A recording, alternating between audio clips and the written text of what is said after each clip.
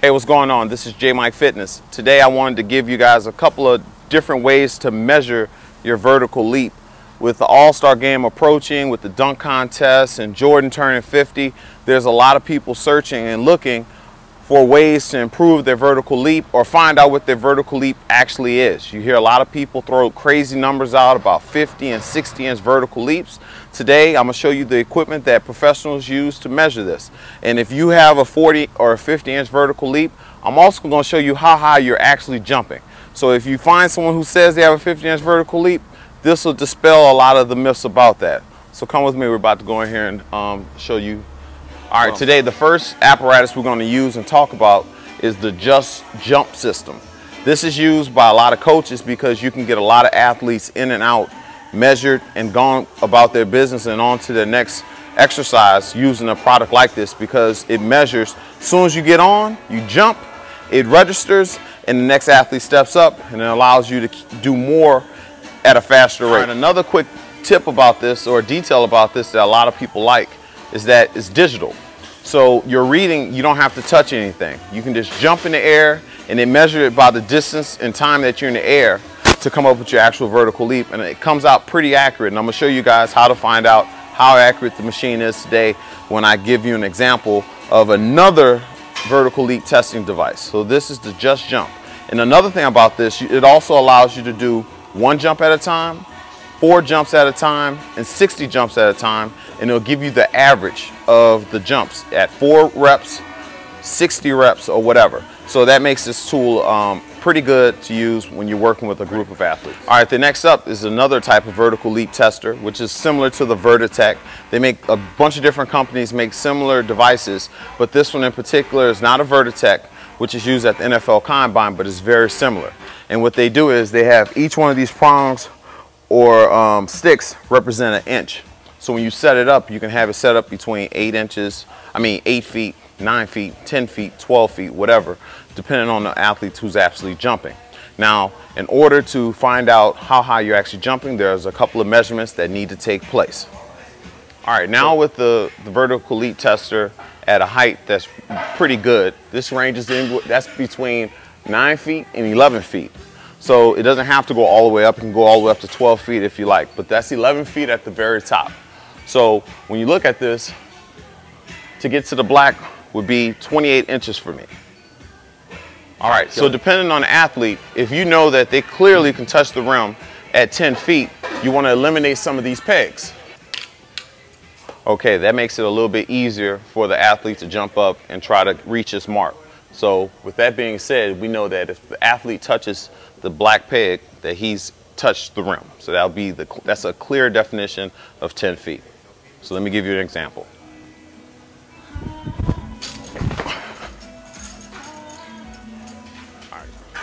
Okay, with that last jump, I hit 10 feet, one, two, three, four, five, six. So that's 10 foot six on the first jump. So that puts up with the vertical leap at around 34 inches. I wasn't really trying or anything like that, but looking at 34 inches.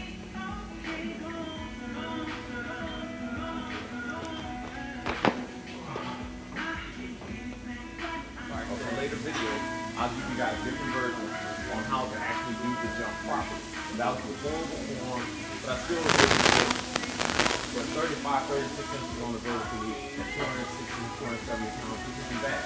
But if I made the corrections, I would probably hit the 40 or whatever that normal. How you guys doing?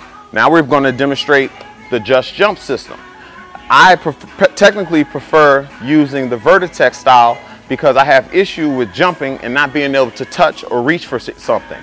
For some people it doesn't bother and if you don't have a lot of time you can always use this particular device to get a faster reading. So I'm to give you guys an example on how fast this machine actually works.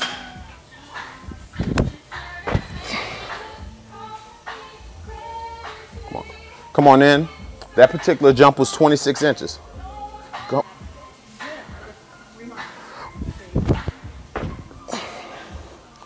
Come on in. Just to give you an example of how this works. So that particular jump was 25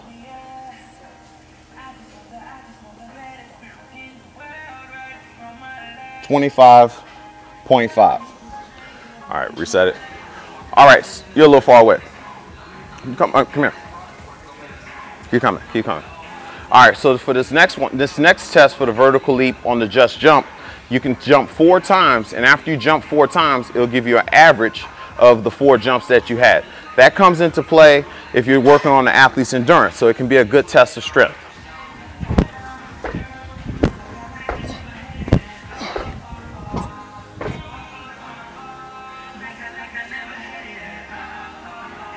So for the four jump total, I came out to 23.4. So this was, I was, wasn't jumping overly high, but I was just trying to give you guys an understanding of how this machine actually works. Can you focus on it? There's also a 60 time test you can do on here as well. You can have your athlete jump 60 times and they'll give you an average of the 60 times. To be 100% honest with you, it's not very accurate because if you step off a little bit, it'll reset. So I like to stick between the one and the four. And you can do your own math on averages if you want to do 10 jumps or what have you. All right, this is another test that you can use using both of these devices, but it requires you to own both of them. I believe the Just Jump system is roughly $700, and I believe this one here ranges anywhere between $400 to $800. So if you have both of them, that can get kind of expensive. But this is how you can find out if they're pretty close to accurate. You can set one up right underneath the Vertitech, and it'll catch the digital reading as well as the manual reading. So let's see how close it comes out. Okay.